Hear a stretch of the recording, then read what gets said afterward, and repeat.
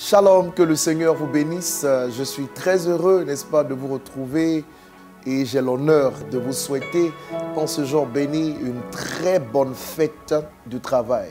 Vous savez, le travail, c'est un ensemble d'activités intellectuelles ou manuelles exercées pour parvenir à un résultat utile déterminé. Et quand vous lisez Genèse 2, 15, dans le paradis de Dieu, dans le jardin d'Éden, Dieu est celui qui a institué le travail, non pas comme une malédiction, mais comme une bénédiction à la base.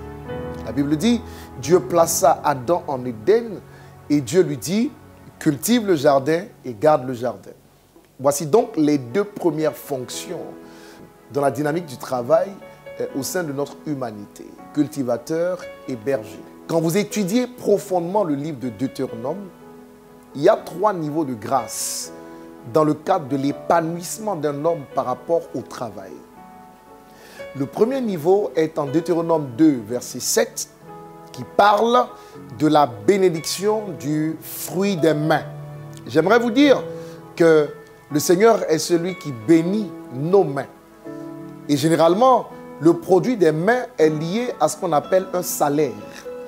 Lorsque vous travaillez, euh, vous méritez un salaire. Mais vous savez, le salaire béni par le Seigneur n'a pas été conçu pour faire de vous des hommes prospères, quel qu'il soit. Le salaire est, à notre sens, la semence pour l'investissement.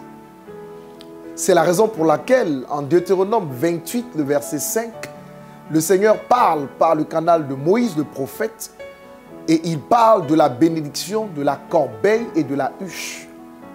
Ça veut dire que naturellement, dans l'évolution du travail, vous devez passer du stade de la bénédiction des mains au stade de la bénédiction de votre corbeille et de votre huche. Les mains doivent servir à produire une corbeille, à produire donc une petite et moyenne entreprise.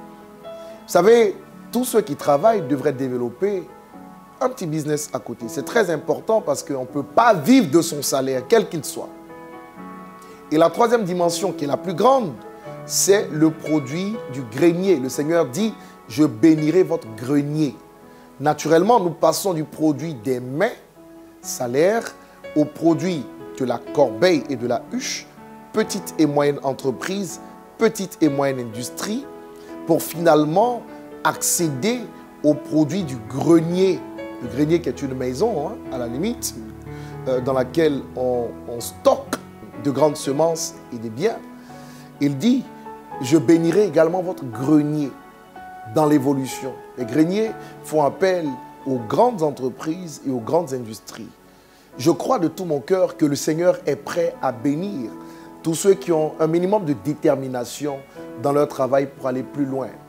J'y associerai la délivrance naturellement pour écarter, n'est-ce pas, toutes les pesanteurs, mais également pour écarter les limites sur le plan spirituel.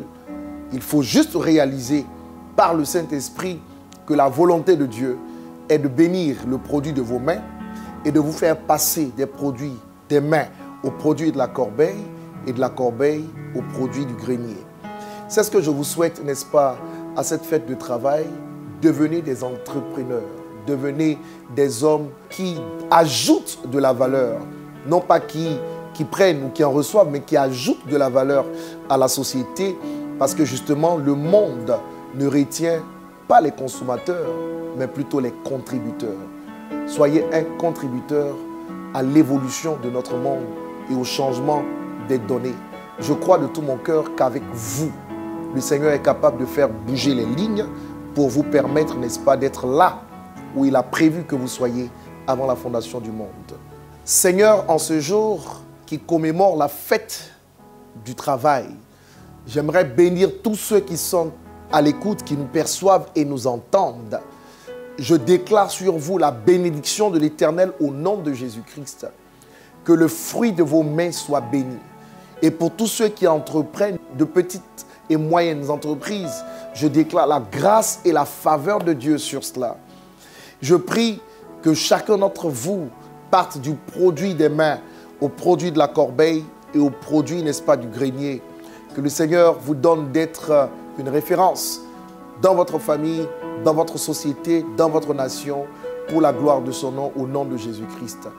Prenez le droit de porter un vêtement de faveur qui vous donnera, n'est-ce pas, l'option spirituelle, les capacités spirituelles de pouvoir réaliser ce que vous voulez réaliser.